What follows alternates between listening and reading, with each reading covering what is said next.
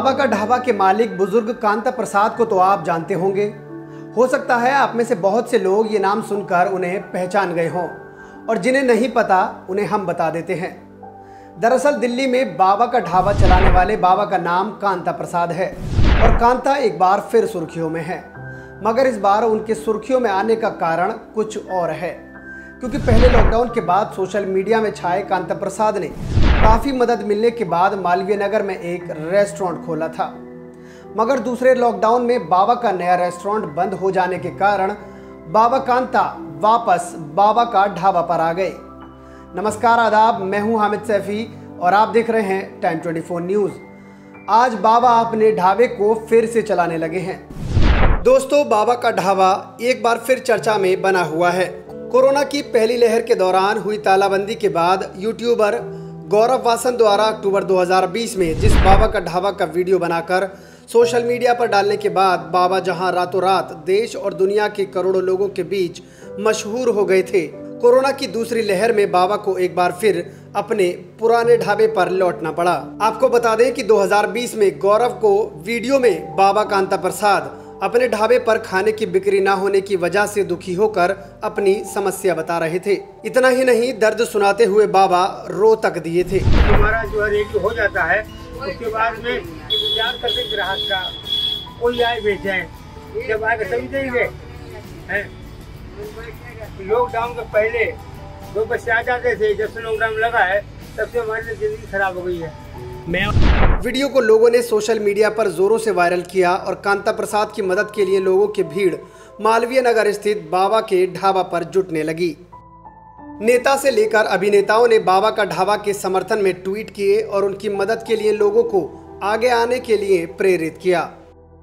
बताया जा रहा है कि बाबा को सहायता के रूप में 40 लाख से ज़्यादा रुपए मिले थे।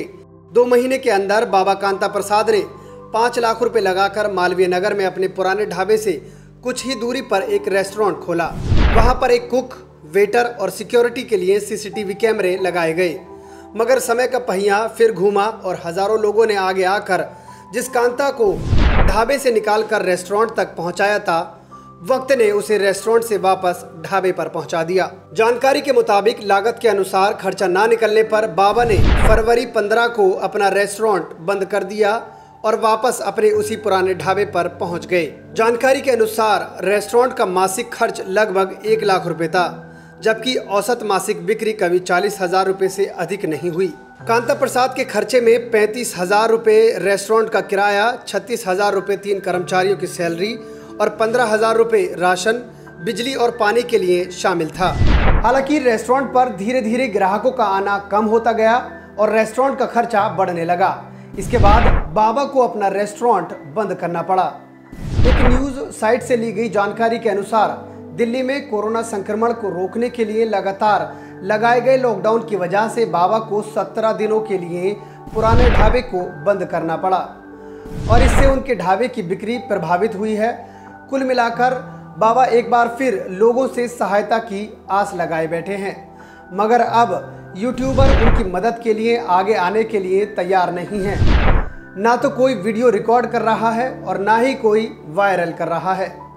दोस्तों, दिल्ली वाले बाबा के ढाबे को लेकर आपकी क्या राय है? कमेंट बॉक्स में कमेंट करके ज़रूर बताएँ। वीडियो अगर पसंद आई हो तो इस वीडियो को लाइक करके शेयर कर दें और चैनल को सब्सक्राइब करना बिल्कुल ना भूलें। फ़िलहाल इस वीडियो में इतना ही। मिलते हैं आपसे अगली वीडियो में। तब तक के लिए नमस्कार, आदाब। मेरे चैनल को सब्सक्राइब करें और हाँ बेल आइकन दबाना बिल्कुल ना भूलें।